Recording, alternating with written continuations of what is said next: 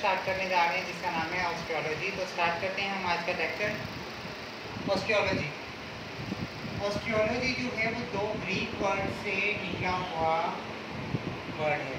इसमें दो वर्ड्स आ रहे हैं ऑस्ट्रियो और लॉजी ऑस्ट्रियो मीन क्या है? Osteo mean is a bone osteo का मतलब होता है बोन यानी कि हड्डी, और लॉजी मीन होता है नॉलेज यानी कि इल्म ऑस्टियोलॉजी क्या है? ऑस्टियोलॉजी में हम लोगों ने बॉन्स के बारे में जितनी भी इंफॉर्मेशन होगी, वो सारी हम किसमें स्टडी करेंगे? वो ऑस्ट्रोलॉजी में स्टडी करेंगे। अब ऑस्ट्रोलॉजी को मॉडर्न साइंस में किसने डिस्कवर किया? तो वो किया था रिजैलियस ने। रिजैलियस को हम फादर ऑफ़ ऑस्टियोलॉजी का नाम भी देते हैं। ये वो वाहिद बंदा था जिसने जो है बॉन्स के बारे में मॉडर्न जो है वो सारी इंफॉर्मेशन कलेक्ट की थी और एक्सप्लेन किया था, इसलिए हम इसको फादर ऑफ़ ऑस्टियोलॉजी कहते हैं। ही इज़ द वन जिसने सिक्सटीन सेंचुरी में डिस्कवर किया था बोन के बारे में, उसके एनाटमी और फिजियोलॉजी के बारे में, ठीक है? तो अब हम चलते हैं इसके नेक्स्ट पार्ट यानी कि डेफिनेशन की तरफ़। तो डिफाइन क्या है? Is the branch of anatomy detail histology जो है, वो हम एनाटमी में ही इसको स्टडी करते हैं। इसलिए हमने इसको क्या कहा? It is the branch of anatomy we give with the bones not only bones बल्कि उसके स्ट्रक्चर ऑफ़ ऑर्गेनिज्म पे। अब जो है ऑस्ट्रोलॉजी दो तरह की होती है। एक होती है एनिमल ऑस्ट्रोलॉजी और एक होती है ह्यूमन ऑस्ट्रोलॉजी तो हम यहाँ पे ह्यूमन ऑस्ट्रोलॉजी के बारे में बात कर रहे हैं। इसलिए यहाँ पे डेफिनेशन में हमें इस बात को क्लियर करना जो था, वो ज़रूरी था कि ऑर्गेनिज्म के बोन स्ट्रक्चर के बारे में स्टडी करना जो है इसकी डेफिनेशन में आएगा। इसका जो है बोन्स के बारे में साइंटिफिक नेम जो है, वो क्या है? ओजियस टिश्यू ठीक है, हम इसको ओजियस टिश्यू नाम देते हैं साइंटिफिक जो है नेम होता है इसका। अब साइंटिफिक नेम क्यों रखा गया? क्योंकि बायोनॉमियल नॉमन में साइंटिफिक नेम रखने की वजह ये होती है कि समटाइम क्या होता है कि डिफरेंट रीजन्स में या डिफरेंट कंट्रीज़ में डिफरेंट नेम जो है वो लेके एक ही चीज़ को बुलाया जाता है। तो उसको एक पॉइंट पे इकट्ठा करने के लिए हम क्या करते हैं साइंटिफिक नेम दे देते हैं।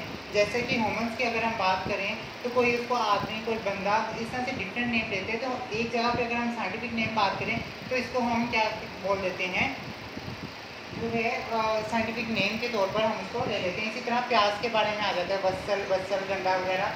ठीक है तो अब हम जो है, इससे हमने बोन का जो है, वो साइंटिफिक नेम रखा ऑजियस टिश्यू इसका मतलब क्या होता है? इसका मतलब होता है हार्ड टिश्यू ठीक है हार्ड टिश्यू ऑब्वियसली हार्डनेस को क्या रिप्रेजेंट करता है।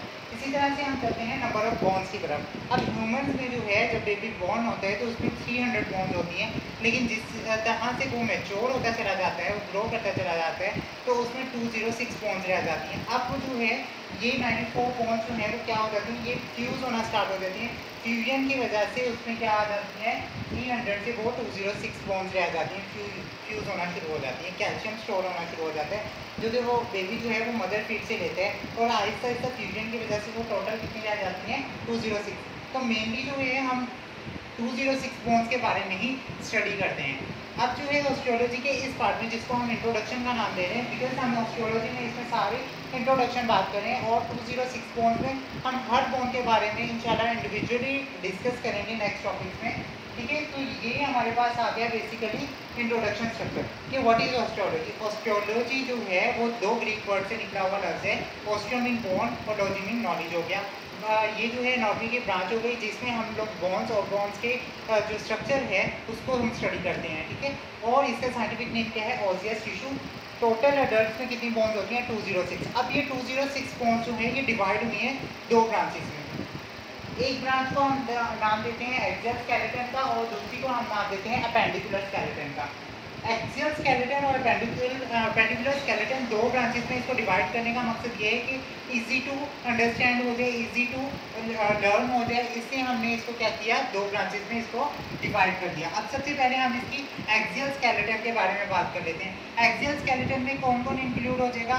Head and trunk of the body bread इसमें क्या आ जाएगा? हेड पार्ट आ जाएगा और trunk of the body bread आ जाएगा। इसमें टोटल कितनी बोन्स होंगी? 80 बोन्स अब वो 80 बोन्स कौन कौन सी हैं?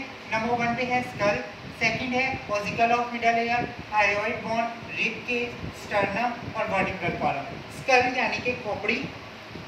ओसिकल ऑफ़ मिडल एयर ठीक है? इंटर्स पहले स्टेप्स वाली बोन्स जो है मिडल एयर में तीन छोटी हड्डियाँ पाई जाती हैं। थायरॉइड बोन थायरॉइड बोन कौन सी है? ये बोन जो कि ज़ुबान को अटैचमेंट दे रही है सपोर्ट दे रही है। क्योंकि यहाँ पे जस्ट लाइक यू शेप जो है वो अवेलेबल होती है, उसको हम हाइब्रिड बॉन्ड बोल देते हैं। रिप केज यानी कि हमारी पसलियों वाला पार्ट जो है, इसको हम रिप केज का नाम देंगे। स्टर्नम यानी कि जहाँ पे आगे रिप्स मिल रही हैं दिस मिडल पार्ट जो है वो स्टर्नम कहलाएगा दिस इज़ हार्ड पार्ट और जो है क्या आ रहा है? वर्टिकल कॉलम यानी कि वर्टिकल ये सारी जो जितने भी पार्ट हैं, ये टोटल कितनी बोन्स हो रही हैं? एटी बोन्स हो रही हैं और ये किसमें आ रही हैं? एक्सल स्केलेटन में आ रही हैं, ठीक है? अब हम चलते हैं दूसरी ब्रांच पे, यानी कि अपेंडिकुलर स्केलेटन अपेंडिकुलर स्केलेटन की अगर हम कंपोजिशन की बात करें तो इसमें हमारे पास अपर एंड लोअर एक्सट्रीमाइटिस आ है। एक्सट्रीमाइटिस में तो मतलब हमारे जो बॉडी से एक्सिस से बाहर निकल रही है, हम उसको किसमें रखते रख हैं? अपेंडिकुलर स्केलेटन में रखते हैं। ठीक है, यानी कि इसमें शोल्डर गिडर और पेल्विस का पार्ट आ जाएगा यानी शोल्डर एरिया और पेल्विस का पार्ट जो है वो किसमें आ जाएगा? अपेंडिकुलर स्केलेटन में। अब इसमें क्या है? वन टू सिक्स बोन्स आती हैं क्योंकि हमारे शोल्डर्स का सारी बोन्स काउंट होंगी। कार्पल मेटाकार्पल फ्रेंसिस वगैरह इसी तरह से हमारे लेग्स एरिया की। यानी कि एक्सट्रीमाइटिस जो है वो हम अपेंडिकुलर स्केलेटन में स्टडी करेंगे और जो ट्रंक और हेड का एरिया है वो हम एक्सल स्केलेटन में डिस्कस करेंगे। अब इसको हम आ, समझ लेते हैं कि इसको एक्सल स्केलेटन क्यों कहते हैं? क्योंकि ये एक एक्सिस में आ रहा है तो इसलिए हम इसको जो है एक्सल स्केलेटन बोल रहे हैं। अपेंडिकुलर स्केलेटन क्यों कह रहे हैं? क्योंकि ये अपेंडिजिस में आ रहा है। फैलाव वाली कैफ़े जो है वर्ड में आ रही है, इसलिए हम इसमें एक्सट्रीमाइटिस को स्टडी करते हैं। अब जो है, इन दोनों में, यानी कि एक्सियल स्केलेटन और अपेंडिकुलर स्केलेटन में बोन्स आ जाती है। There are major five type of bones हैं फ्लैट लॉन्ग शॉर्ट रेगुलर और सिजमॉइड अब फ्लैट जो है वो हम चिट्टी को बोल रहे हैं लॉन्ग लंबी हो गई। शॉर्ट जो है वो छोटी इरेगुलर जो बेतरतीबी और सिजामाइड होती है, छोटी गोली की तरह की हड्डियाँ होती हैं, उनको हम सिजामाइड जो है मेनली जो है जॉइंट्स में पाई जाती है गोली के लिए मूवमेंट के लिए जो है वो सिजामाइड बोन्स होती हैं। तो ये था हमारे पास बेसिकली इंट्रोडक्शन ऑफ़ ऑस्ट्रोलॉजी इस लेक्चर में हमने सिर्फ़ और सिर्फ़ ऑस्ट्रोलॉजी के इंट्रोडक्शन देखा। नेक्स्ट टॉपिक्स में हम इंशाल्लाह मजीद डिस्कस करेंगे। इसके लिए हमारे साथ जुड़े रहें और सब्सक्राइब करें हमारा चैनल थैंक यू